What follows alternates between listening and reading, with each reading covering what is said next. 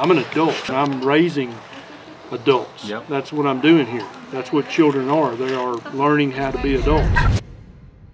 Hey, I'm Dr. Ken Berry. And I'm Nurse Neisha. We're inviting you to join our private community. Inside of this community, you'll find curated information that would take you hours of YouTube videos and internet searches to glean. You're going to have access to Nisha and I and a host of other metabolic researchers and metabolic practitioners from all around the world. You'll be able to ask them questions directly during the live videos and have access to replay these videos as many times as you need for the information to sink in. If this sounds good to you, then you can just head down below, click that button, and we'll see you in there.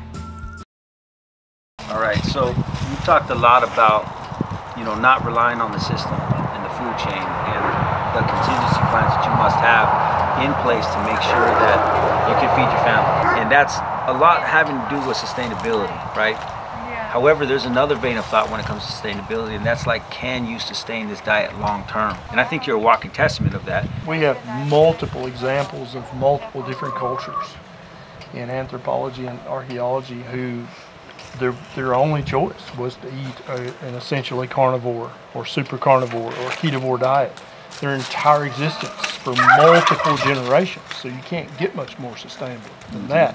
And we have documented cultures that did that for generations.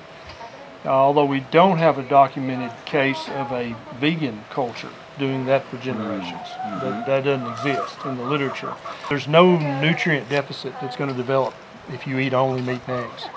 If you eat only plants, you're going to have to take a handful of supplements Yeah. every day, Eh, or you will develop deficiency, especially if you include some organ meats, some liver, some heart, some brain, some kidney.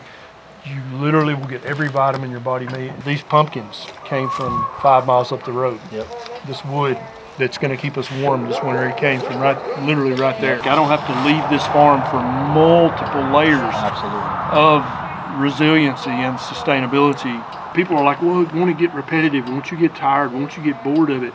Again, I think you start to harken back to immature concepts. Mm-hmm. Yep. It's like, are we adults here, or are you bored with this video game? Do you need to play another video mm-hmm. game? I'm an adult, I'm raising adults. Yep. That's what I'm doing here. That's what children are. They are learning how to be adults. Part of the learning that is that you do what's best, whether that's always enjoyable or not. Definitely have never gotten bored of eating meat and eggs, Yep. and I don't think I ever will. I'll never get bored with with shepherding the sheep or taking care of the chickens, or eventually when we get some cattle. I'll never get bored of that either. It's what I was made to do. Absolutely. So how could I possibly get bored with mm-hmm. it? I think it's a valid point. Just like what we were talking about long term and making the investments and making sure that you're investing in the land, you're investing in your health, you're investing in the long term picture, you got to think on a more mature level about it. There's no way that you can do all of this and have an immature mindset. Not for long. Not for long. or you'll you'll either quit or the immature mindset will go away. You will mature, mm. and you know that's kind of the whole purpose. Even the meaning of the word mature means that you have grown and now are grown, and just like every other species of plant and animal on the planet. A lot of people are hesitant to call people out as being immature, but some people I think need that. Like to grow up a little bit with respect to this or that or the other. And it's different things for different people, but it's time for all of us to take a hard look in the mirror and go, Am I really a, a, a grown up? Yep. Am I really an adult? Am I mature? Or are there areas where I'm mature, but then other areas where I'm still a four year old? What can I harden? What can I make more resilient? Where do I need to grow up? Mm-hmm. And if you're not asking yourself that question, then you are suffering, but that's your own fault. Yep. But also your family could be suffering, and that's not really their fault. Mm-hmm. That's your fault too.